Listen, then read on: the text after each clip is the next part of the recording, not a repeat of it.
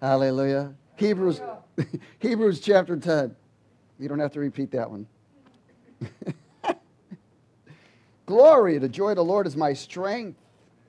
And in the presence of the Lord is fullness of joy. Hebrews, Hebrews. Just brew. Hallelujah.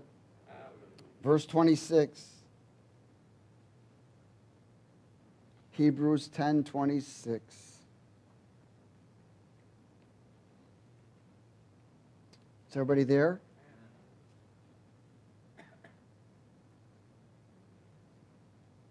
Let's speak it together. For if we sin willfully, everyone say willfully. willfully. Hmm. What's the, it says, after we have received the knowledge of the truth, there no longer remains a sacrifice for sins. In other words, you're not covered. We're not covered. If you sin willfully, you choose to sin, there's no more covering. Does everybody get it? That's what he's saying. You are not covered. That means the enemy is going to come as quick as he can and try and kill you. He'll do everything he can to get to you. If you sin willfully, you know the truth and you choose to reject it. You say, I'm going to do mine will instead of God's will. I'm going to do this no matter what. There is no more covering. There no longer remains a sacrifice for sins. Does everybody see that? Verse 27. But a certain fearful expectation of what? Judgment. Judgment. And a fiery indignation which will devour the adversaries. Anyone who's rejected Moses' law dies without mercy on the testimony of two or three witnesses. How much worse punishment do you suppose will he be thought worthy who has trampled the Son of God underfoot, counted the blood of the covenant by which he is, was sanctified a common thing, and what? Insulted the Spirit of grace insulting the Spirit of grace. In other words, insulting the plan of God. For we know him who said, Vengeance is mine, and I will repay, says the Lord. And again, the Lord will judge whose people? His people. So if we choose willfully, now, if you run a red light by mistake, is it very possible if a police officer's at the corner, you're going to get a ticket? Yes. Amen. Well, you say, well, he might have mercy upon you. Yes, he might. He might, like, give you something different. Majority, sometimes they might not give you the running the stop sign or running a red light, but he might give you no seatbelt. But there's always a cost, there's a price. Amen. It's the same thing in the spirit. Even though we may do it ignorantly, what covers me and you is the blood of Christ. Only when you repent for it. So you must activate the blood of Christ by repenting for that sin that you did willfully. Now, that doesn't mean that you're going to sin every other day. Well, I think I'll do this and then repent. Because if your intent is to constantly do it and try to put it under blood, it ain't going under the blood. Because the word repent means to turn away from it. So when you choose to turn away from it, God can forgive you. But if you repent and choose not to turn away from it, He can't forgive you. Does everybody get that? Hallelujah. He said, It is a fearful thing to fall in the hands of the living God. But recall the former days in which, after you were illuminated, you, you were enlightened, you were saved, you realized you endured great struggle with what? Sufferings. Partly while you were made a spectacle, both by reproaches and tribulations, and partly while you became companions of those who were, were so treated. In other words, after you become a believer, especially people you used to hang around with, oh, you're a Jesus freak now? Oh, you've gone religion? They don't even understand what, you know, they're the ones that are religious. We're free. We stepped out of the realm of bondage and religiosity and stepped in the realm of relationship and freedom. So you will be persecuted after you get saved. People will wonder, why aren't you doing the same things? Why do you want to live a different life? Because you're not looking at this life, you're looking at the one after. Because that's more important than this present one. So, for you had compassion on me in my chains, in verse 34, and joyfully accepted the plundering of your goods, knowing that you have a better and enduring possession for yourselves in heaven.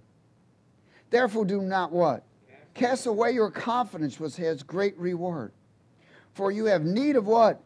Endurance. Everyone say endurance. endurance. So that after you have done the will of God, you may receive the promise. For yet a little while, and he who is coming will come and will not tarry.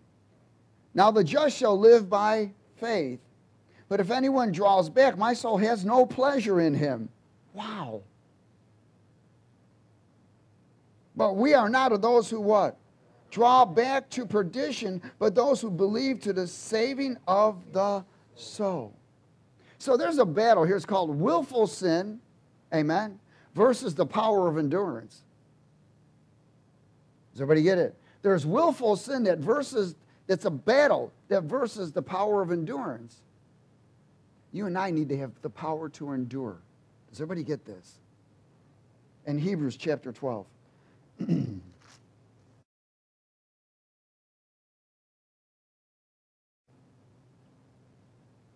the power of endurance.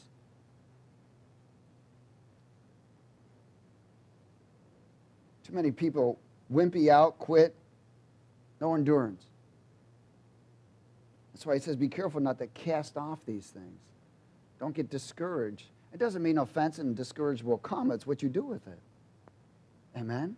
You got to battle through that. You got to shug throw it right off, shug it, uh, shake it off. I don't care what you do. Get rid of it. Because behind it is the demonic force that's going to try to cause you to do things you shouldn't. Hebrews chapter 12 and verse 1. Let's speak it. Therefore, we also, since we are surrounded by a, so great a cloud of witnesses, let us lay aside every weight and the sin which so easily ensnares us and let us run with endurance the race that is set before us.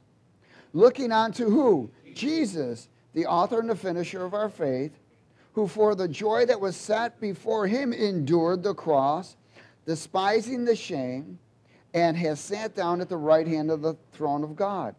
For consider him who endured such hostility from sinners against himself, lest you become weary and discouraged in your souls. You have not resisted to bloodshed, striving against sin, and you have forgotten the exhortation which speaks to you as sons and daughters. He says, My children, do not despise the chastening of the Lord, nor be discouraged when you are rebuked, counseled, corrected. For whom the Lord loves, he what? He chastens and scourges every child whom he receives. If you endure chastening. You know, many people don't. Many people say, man, I hate correction. You should love correction. Because correction brings protection. Everybody get it? Correction brings protection. Well, I don't want to be corrected. I don't want to be instructed. Well, then you will walk away from the protection of the Lord. If you endure chastening, God deals with you as sons and daughters. For which child is there whom a father does not chasten? Let me share with you about this because there is a power of endurance that you and I must maintain. And we've said some of these things before, but I want to repeat some of these things to bring, to bring to remembrance here. One of the things that you and I walk in is God has set boundaries for me and you. These boundaries are many times to be reset and refreshed. They're to be what? Reset and refresh. These boundaries are what keeps you in. These boundaries are established by the Holy Spirit. He gives you the power to endure because the enemy tries to draw you over the boundaries. Fear is one of them, anxiousness, anything, works of the flesh. He tried lust of the eye, lust of the flesh, pride of life. He's always trying to draw us to these boundaries. It's almost he's trying to get a hold of, he can't come across that boundary, but if he can get you close enough to it, pow, he can try and grab a hold of you. So this chastening, this correction, this counsel, correction, and direction is what refreshes and resets the boundaries so that we can walk in them and be clear of the influence of evil and be pleasing to God in whatever we do. You cannot fulfill the mission God has sent you on if you're not in the boundaries. It's impossible. If you endure, endure chastening, God deals with you as sons or children. For what child is there whom the Father does not chasten? But if you are without chastening, of which all have become partakers, then you are illegitimate and not his sons and daughters. Everyone will be chastened. You'll be counseled, correction, direction. You will re- receive instruction from the Lord, and you will get a rebuke. It's a spanking. He says, you know, many times, you know better you'll hear, you know better. And, and what happens is, listen, God just doesn't do that. What happens is because we, what you sow, you what? Reap. That brings chastening. God uses those things to bring, work things to the good. But the enemy tries to use them to work things to the bad. So the quicker you repent, the quicker God can move on your behalf because everything must be under the blood. Amen. Oh, hallelujah. Let's go a little further. Verse 9. Furthermore, let's speak it, we have had human fathers who corrected us, and we paid them respect. Shall we not much more readily be subjection to the Father of spirits and live? For they indeed for a few days chasten us and seem best to them, but he for our profit, that we may be partakers of his what? Holiness being a partaker of his holiness, it doesn't mean you get a little halo over your head. You know what I'm saying? This is not about anything. It's a partaker of his character. Character. Because holiness is a representation of purity, it is the character of God. You can't dress holy and you can't act holy. You live holy. Does everybody get it? You live holy. You live a life of righteousness, which is established as holiness. Verse 11. Now, no chastening seems to be joyful for the present, but what? Painful. Painful. So, what's he saying? Don't run, and endure. Nevertheless, after it yields the peaceable fruit of what? Righteousness to those who have been trained by it. Therefore, strengthen the hands which hang low and the feeble knees, and make straight the paths for your feet, so that what is lame may be may not be dislocated, but rather be healed. Pursue peace with all people and holiness, without which no one will see the Lord. Looking carefully, lest anyone fall short of the grace of God, unless any root of what? Bitterness springing up causes trouble and by this many become what? Defiled, lest they be any lest there be any fornicator or profane person like Esau, who for one morsel of food sold his birthright. Again, this is important to recognize in how we have been empowered to endure already.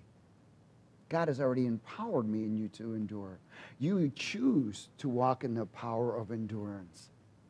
That is our choice. In Philippians 4.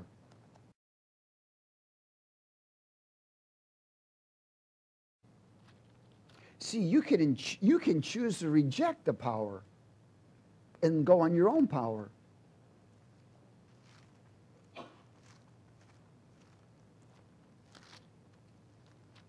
glory. Philippians chapter 4. Did you ever? Nah, every one of us has fallen into a place where you, you know you got to do something, but you don't want to.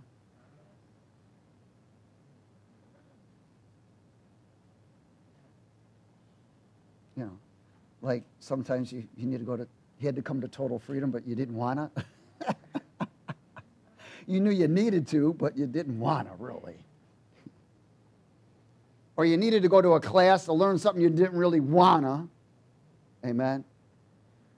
Or you were told to do this teaching, but you really didn't want to. But after you endured, you said, Yes, okay, I'll do it because his way is bigger than my way.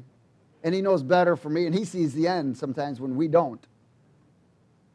And you do it, you endure, you choose to accept the power to endure, and the end result was cool. I like this. Man, why did I why did I fight so hard to say no? And then you realize, wow. Why? Because the fruit of it produced righteousness. But that's in everything that we do. Look at the enemy is always going to bring resistance to me and you. That's just the way it is. You're under this realm of influence of the demonic forces. Even though we are walking in the boundaries, there still be influence. Amen? Of course, the closer you get to those boundaries, the more influenced you will be. In Philippians chapter 4 and verse 8, finally, my brethren, whatever things are true, whatever things are noble, whatever things are just, whatever things are pure, whatever things are lovely, whatever things are good, of good report, if there is any virtue, if there is any praiseworthy, meditate, think on these things, focus on these things. The things which you learned and received and heard and saw in me, these do, and the God of peace will be with you. But I rejoice in the Lord greatly that now at last your care for me has flourished again, though you surely did care, but you lacked opportunity. Now that I speak in regard to need, for I have learned in whatever state I am to be what? Content. You know, to be content takes endurance. I know how to be abased and I know how to abound. Everywhere and in all things, I have learned both to be full and to be hungry, both to abound and to suffer need. I can do all things through Christ who, who strengthens me. I can do all things. This is the conclusion for me and you. First of all, Christ is a representation of the anointing, the eternal presence, power, and truth of God Almighty. Everywhere you see power in the Word of God, it's always associated with the anointing. The Holy Spirit carries the anointing. That is the conclusion that the anointing of Christ empowers me and you to endure all things by maintaining focus on Christ Jesus. Amen? Colossians 1.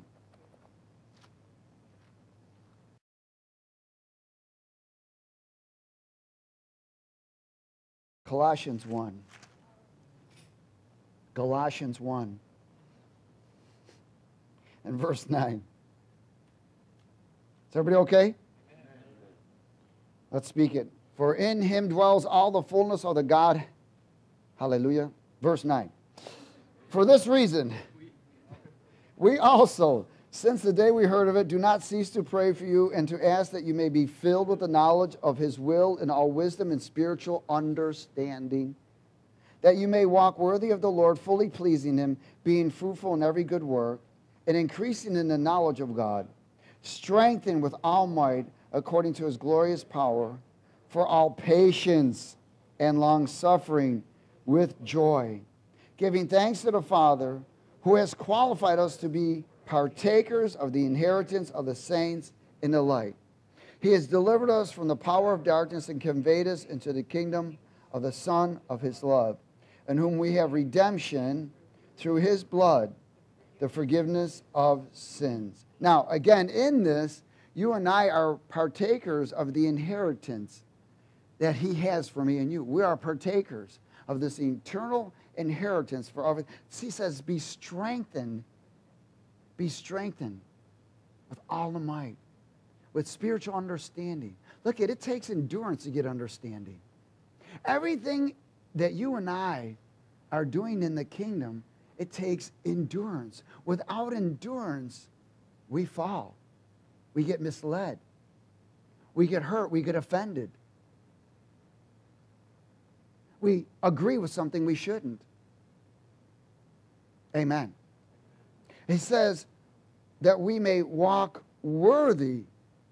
Amen. Walk worthy of the power so that you. The only way you can walk worthy is to walk in the power of endurance. In Psalm 68.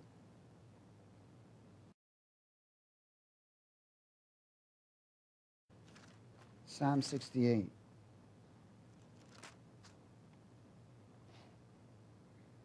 Mm. In verse 32. 32 to 35. Is everybody there? Sing to God, you kingdoms of the earth. Oh, sing praises to the Lord, to him who rides on the heavens of, the, of heavens, which were of old. Indeed, he sends out his voice, a mighty voice, ascribes strength to God. His excellence is over Israel, and his strength is in the clouds. O God, you are more awesome than your holy places. The God of Israel is he who gives strength and power to his people. Are you his people? Amen. Then he's given you strength and power. So do we have an excuse? No. Praise and blessed be to God. He has given us strength and power by his Spirit. Acts 1.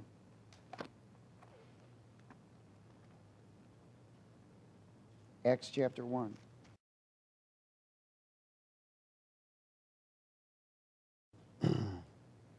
Verse 8.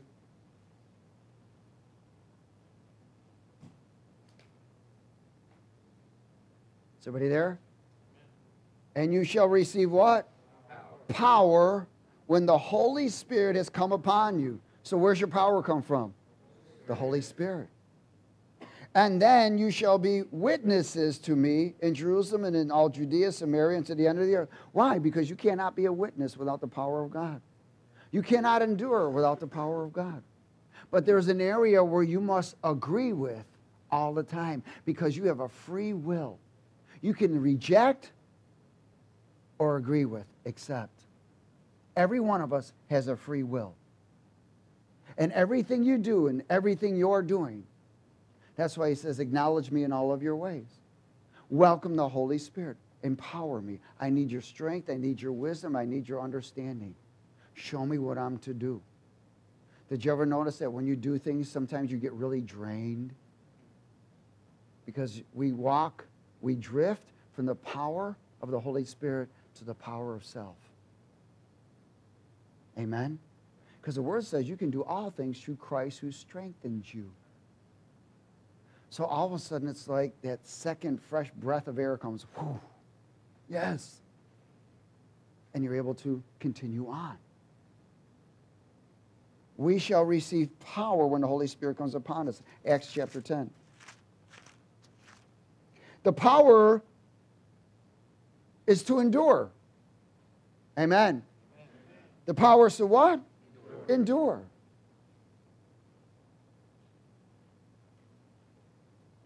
In verse 37. That word you know, which was proclaimed throughout all Judea and began from Galilee after the baptism which John preached, how God anointed Jesus of Nazareth with the Holy Spirit and with power to do what? Dance?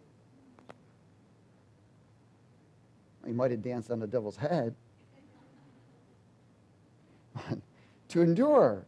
And you had to endure. Look at it. What does it say? He says he was uh, brought into the wilderness by the Holy Spirit to battle.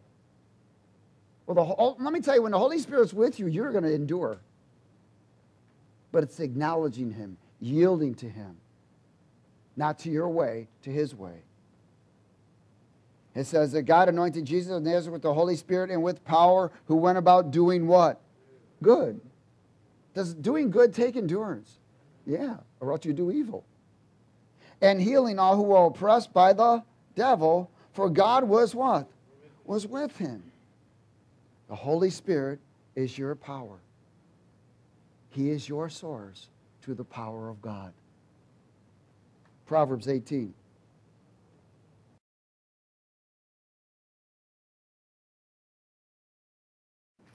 Proverbs 18, 21. Is anybody there yet?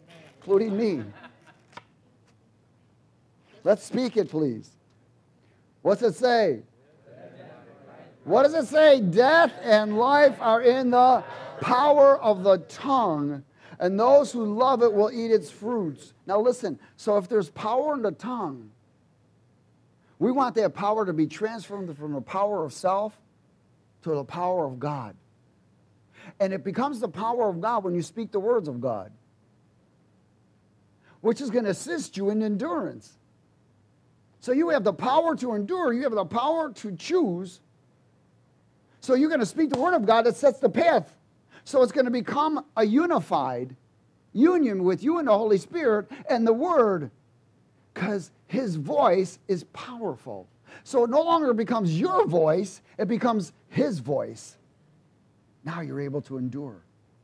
See, people are thinking, well, I need to. See, the, when you focus on you, nothing happens. When you focus on him, everything happens. It may not happen the way you want it to, but it's going to happen. Hallelujah. So if there's life and death in the power of the tongue, and go to Hebrews 4. So we want to exchange our voice for his voice.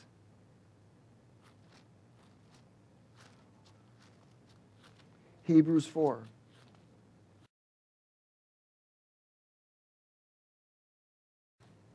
Power of endurance. In verse uh, 12. Is everybody there? For the word of God is what? Living. It's living and what? Powerful. When what? Spoken. Yeah. And sharper than any two edged sword, piercing even to the division of the soul and the spirit, and the joints and marrow, and is the discerner of the thoughts and the intents of the heart. And there is no creature hidden from his sight but all things are naked and open to the eyes of him whom we must give account. So the voice of God penetrates through all physical. See, when you and I are in this realm, we're actually taking eternal words, eternal presence, eternal voice of God Almighty, because you're filled with the Spirit. And now you are speaking. And now it's unifying, it's agreeing with the eternal realm. So it's actually passing from the spirit realm through the physical realm back to the spirit realm again. Does everybody understand this? This is what allows me and you to have. So it's actually, we call it the, it's the power of God. It's not the power of me and you. It's the power of the presence of God in us. It is the anointing, the eternal presence, power, and truth of God Almighty that comes forth through me and you. And it's just reconnecting again. That's all we are is the vessel of connection in everything that happens. 2 Peter 1.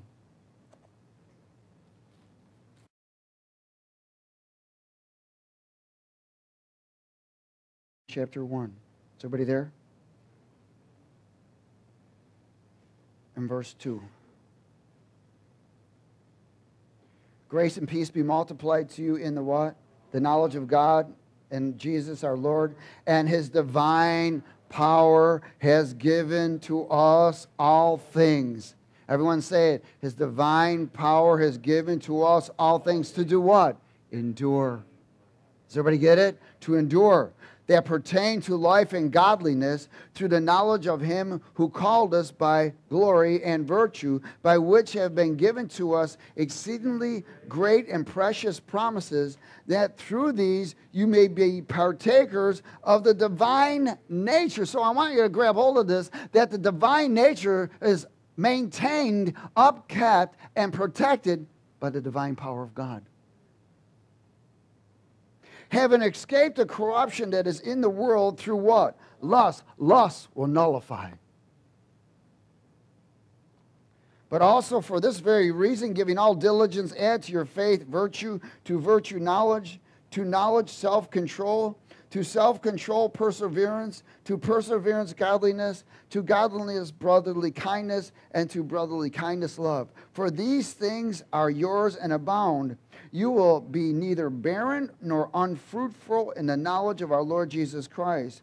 For he who lacks these things is short sighted, even to blindness, and has forgotten that he was cleansed from his old sins. Therefore, brethren, be even more diligent to make your call and election sure. For if you do these things, you will never stumble. And of course, for so an entrance will be supplied to you abundantly into the everlasting kingdom of our Lord and Savior Jesus Christ. Very powerful. So we see that the divine power is to endure in other words, so that your, the word says, resist the devil and he will flee from you. But it says first to submit to God. You must even endure to submit to God. That is a free will. You choose to submit to God, so you have the divine power to resist the devil so that you can endure. That's why people who do not pray and do not make contact every morning cannot walk in the divine power of God. They walk in their own power. Some people say a few Hail Marys and book maybe a few our fathers or whatever, and try to get on with their day. It ain't going to work. Just don't work. You must make connection every morning. You must battle. It's your responsibility to push back the powers of darkness so you can walk. Hallelujah. Now, that is, it must come out of your mouth. See, people can pray for you, but that can only last so long. What is everlasting is what comes out of your mouth. Because what you sow is what you reap. And what you speak is what you eat. And what you eat is what you become. Hallelujah. Romans chapter 1. So we want to maintain that divine power to endure which all of a sudden then releases the divine nature of God in me and you. Romans 1 power of endurance. Hallelujah. Romans 1:18 please.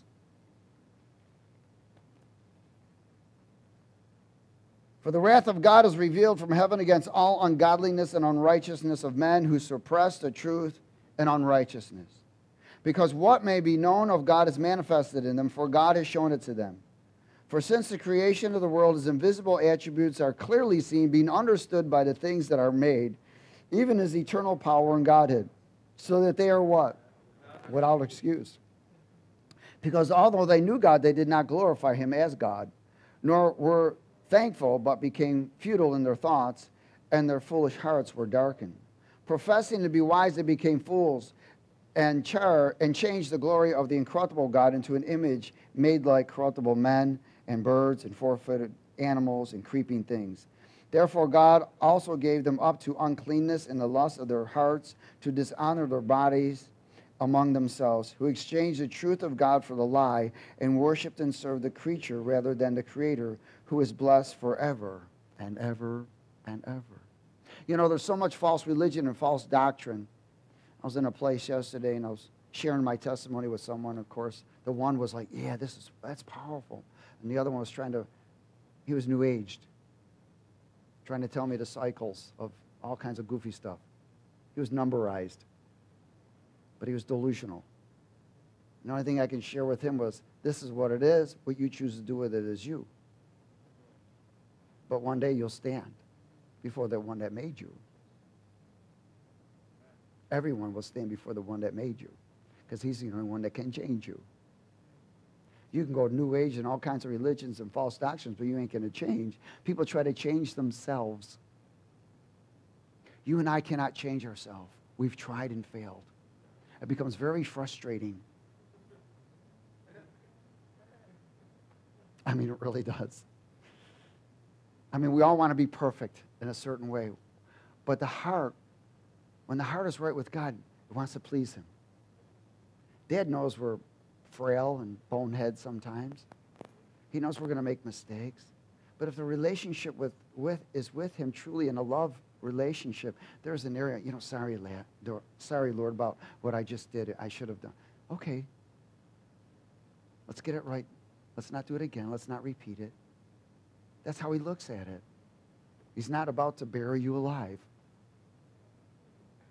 Amen? Amen. That's what the enemy wants to do. so the power of God. Oh, glory. Let's go. Um, so the, hallelujah.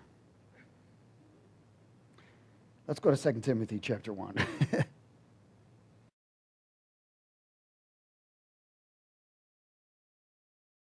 2 Timothy chapter 1. Power of God to salvation for endurance. We need a power to endure. 2 Timothy 1. Verse 6. Everybody there? Therefore, do not, therefore I remind you to what? Stir up the gift of God which is in you through the laying on of my hands. For God has not given us a spirit of fear, but what? power and love and sound mind. So, see, even the, the power to endure maintains the love of God and a sound mind. You're maintaining inside the boundaries, those protective boundaries that God gives us. Why? Because they get reset and refreshed. 1 Peter 1. 1 Peter chapter 1. Verse 3. Power of endurance.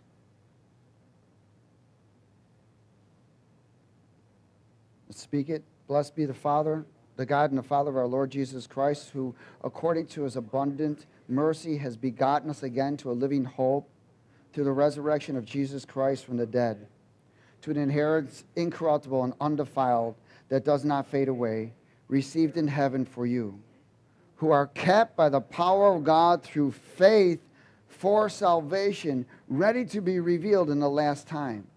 In this you greatly rejoice, though now for a little while, if need be, you have been grieved by various trials, that the genuineness of your faith, being much more precious than gold that perishes, though it is tested by fire, may be found to the praise, honor, and glory at the revelation of Jesus Christ, whom having not seen you love, though now you do not see him, yet believing you rejoice with joy inexpressible and fullness of glory, and receive the end of your faith, the salvation of your souls. So you and I are kept by the power of God. It produces faith of it produces faith in his promises. Remember, by maintaining those promises, it says once you've endured and done the work, you've done the will of God, the promises release. So we are always expecting the promises to be released. But one of the enemies wants to do is doesn't he wants to resist you from maintaining it. He wants to resist you from enduring. So that he comes and, and he wants you to live a life of deception and discouragement. But God wants you to live a life of victory, faith, knowing your calling and the end of who you truly are. Remember, one of the things the enemy does is steal our identity. You must endure that. You must endure the arena, maintain your identity. And that identity is maintained in the boundaries that God has set forth for me and you. So they must always be reset and refreshed. And that's why it's important to always ask the Holy Spirit to empower you. Because if you don't submit to God, you can't resist the devil. You can't endure that. And listen, we are in a season right now where we must endure. There's all kinds of influence going on. It is a time right now where you and I must endure. Kingdom must be priority. 1 John chapter 2.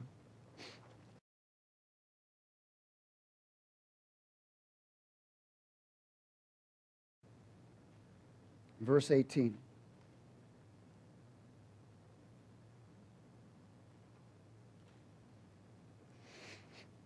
Hallelujah. Let's speak it. Little children, it is the last hour, and as you have heard that the Antichrist is coming, even now many Antichrists have come, by which we know that it is the last hour. They went out from us, but they were not of us. For if they had been of us, they would have continued with us. But they went out that they might not be, that they might be what? Manifested. So did they endure? No. That none of them were of us. But you have it, I what? An anointing from the Holy One, and you know all things. Now, let me share with you again. You submit to the anointing. We are servants to the anointing. The anointing is not a service to us, we are servants to the anointing. See, when people think that the anointing serves you, they're looking at their own power.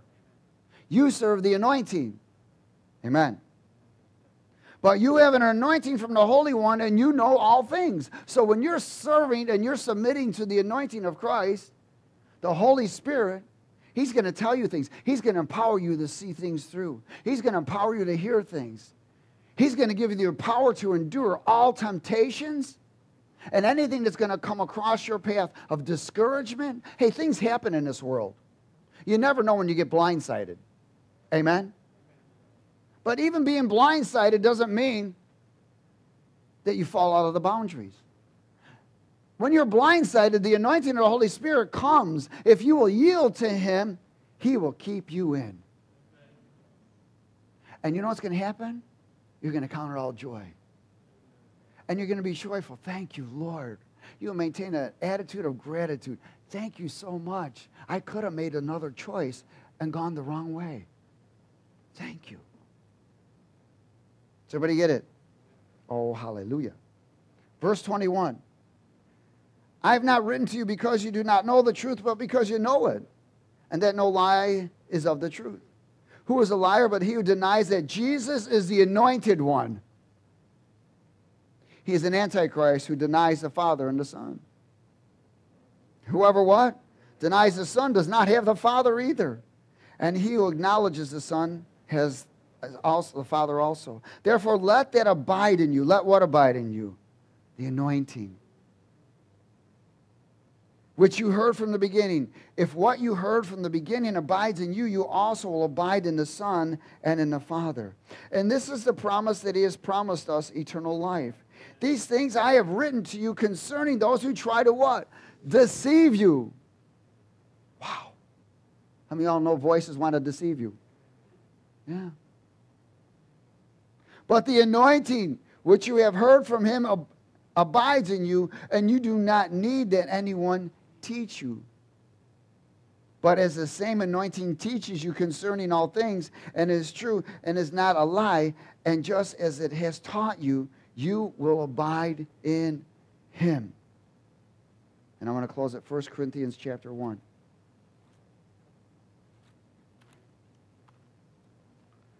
You know, Friday night anointing service, when the anointing came, one of the things the Lord said is, I'm anointing my children to endure. I'm, an, I'm anointing my children to endure. Why? Because he knows things are coming. Amen? So I would like to t- today to anoint anyone that wants to endure.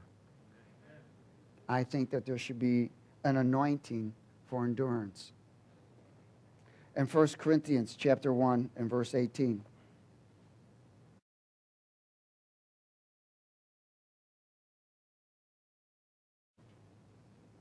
Is everybody there? For the message of the cross is foolishness to those who are perishing, but to us who are being saved, it is the power of God. For it is written, I will destroy the wisdom of the wise and bring to nothing the understanding of the prudent. Where is the wise? Where is the scribe? Where is the disputer of this age? Has not God made foolish the wisdom of this world? For since in the wisdom of God, the world through the wisdom did not know God, it pleased God through the foolishness of the message preached to save those who believe. For Jews request a sign Greeks seek after wisdom, but we preach Christ crucified, that the Jews a stumbling block and the Greeks foolishness. But to those who are called, both Jews and Greeks, Christ, the power of God and the wisdom of God. Because the foolishness of God is wiser than men, and the weakness of God is stronger than men. For you see your calling, brother, that not many wise according to the flesh, not many mighty, not many noble are called, but God has chosen the foolish things of the world to put to shame the wise. And God has chosen the weak things of the world to put to shame the things which are mighty. And the base things of the world and the things which are despised, God has chosen. And the things which are not, to bring to nothing the things that are are, that no flesh should glory in his presence. Hallelujah. Powerful.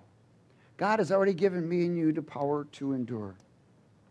Many people think that the message of the cross, see, the message of the cross is so vitally important, not only to understand, it's not about just Jesus dying on the cross, because he actually died in the garden before he got on the cross. That's where death was. It was the anointing that brought death to himself so that he could fulfill the, the mission of God. That's what happened to him. And by exchanging on the cross, that released the anointing for all mankind, anyone wanting to receive the anointing of the Holy Spirit, so that they could endure and carry the message of truth to all mankind. Again, we are in the last days. Sometimes I wonder if we're in the last minutes.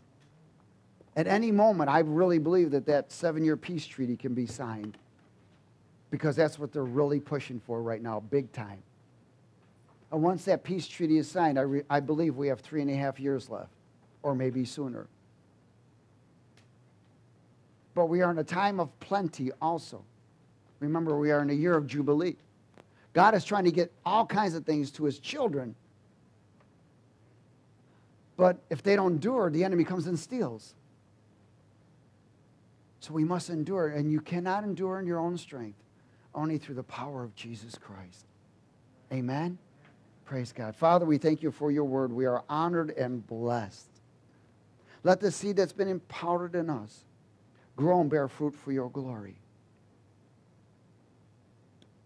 And keep us, Lord. Keep us in the boundaries. Help us to continually reset and refresh these boundaries as we yield, willfully yield to the power of the Christ Jesus, the Holy Spirit, in Jesus' name. Everybody said amen.